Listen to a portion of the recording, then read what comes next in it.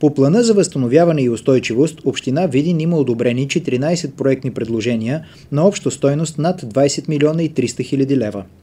Те са за модернизация на уличното осветление, подобряване на образователната среда в няколко детски градини, въвеждане на мерки за подобряване на енергийната ефективност на стадиона и гребната база, саниране на 7 многофамилни жилищни сгради и още.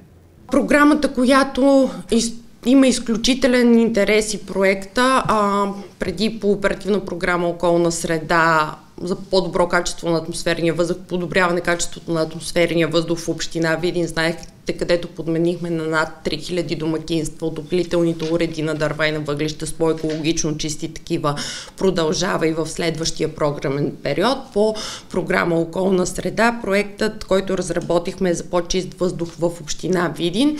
Проектът е на стойност близо 25 милиона а, лева и от а, тази възможност ще се възползват около 5000 домакинства, които на първият етап а, не са имали желание или не са се възползвали, но това е програма с голям интерес и смятам, че този интерес ще продължи и през следващите 4 години. Община Видин трябва да има подготвени инвестиционни проекти, чрез които в последствие да търси подходящото финансиране, поясни Тодорова.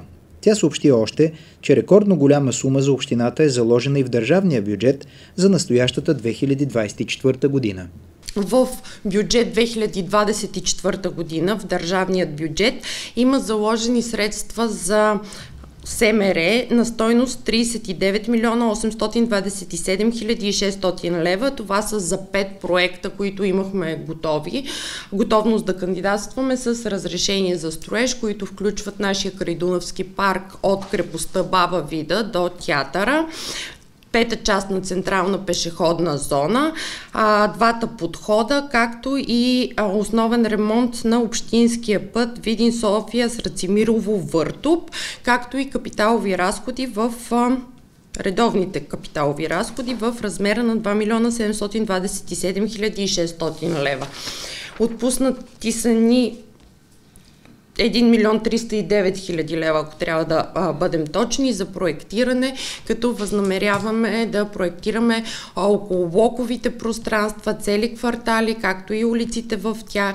Имаме отпуснати средства за ремонтиране, продължаване на, на проектирането на стадион Георги Бенковски, който включва терена, а, както и седалките, така и напоителна система, за да а, можем след това да търсим средства за реалното изпълнение, както и за гребна база, основно укрепване на гребната база, тераса, обзавеждане, оборудване вътре в а, самата гребна база и редица други проекти. По национална програма на Министерството на образованието и науката, Община Видин има спечелен проект за изграждане на малък физкултурен салон в основно училище Иван Вазов, на стойност близо 1 милион и 300 хиляди лева.